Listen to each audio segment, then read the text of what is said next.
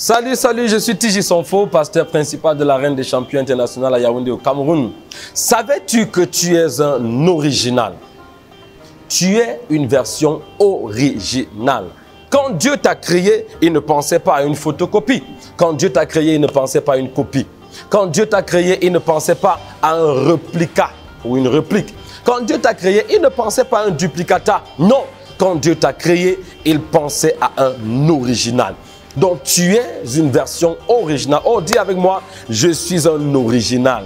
Je suis une version originale. Alors il est important que tu intègres cela et que tu cesses de te comporter comme une copie, comme une photocopie ou comme un duplicata. Parce que quand Dieu a pensé à toi, il a pensé à un original.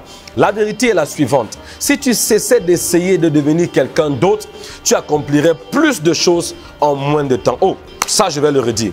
Si tu cessais d'essayer de devenir quelqu'un d'autre, tu accomplirais plus de choses en moins de temps parce que tu es un original. Alors à partir d'aujourd'hui, identifie ta façon originale de parler et maximise-la. Identifie ta façon originale de penser et maximise-la.